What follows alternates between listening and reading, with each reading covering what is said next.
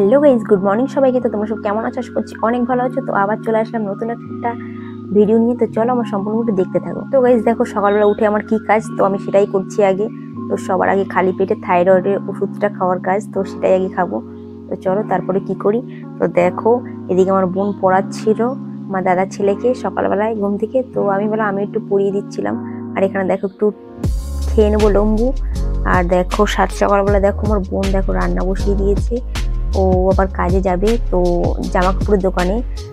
তো দেখো আমি এখন একটু ফ্রেশ হয়ে দাঁড়িয়েছি। আর আজকের ওয়েদারটা দেখো কেমন মেঘলা, রোদই উঠছে না কদিন ধরে। আর দেখো, আমার দাদার ছেলে যে পড়া, যাকে পড়াচ্ছিলাম, সে আমাকে টেনে নিয়ে আসলো যে জামা দেখবি পিসি, আয়। তো দেখো জামা কাপড় দেখাতে নিয়ে চলে এসছে ওদের। তো জামা কাপড় দেখছিলাম একটু বৌদিদের বাড়ি এসে। তো এই দেখো, তো দেখা হয়ে গেছিল প্রায় তখনই মনে পড়ল যে তোমাদের সঙ্গে শেয়ার করা হচ্ছে না, ভুলে যাচ্ছিলাম। আর এটা দেখো বোনের জামা।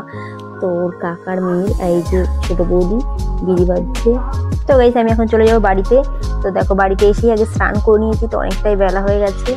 তো দেখো, স্নান টান করে ফ্রেশ হয়ে নিয়েছি, এখন খাওয়া দাওয়া করব। তো চলো, পরে কথা তো গাইজ দেখো, শুয়ে আছি, এখন সন্ধ্যা হয়ে গেছে। গুড ইভিনিং সবাইকে। আর সত্যি কথা বলতে, এখন আর সব দেখানো হচ্ছে না। ভিডিও করতে করতে কখন কি ভুলে যায়, আর শরীরটা তো আগের মতো ভালোও লাগে না।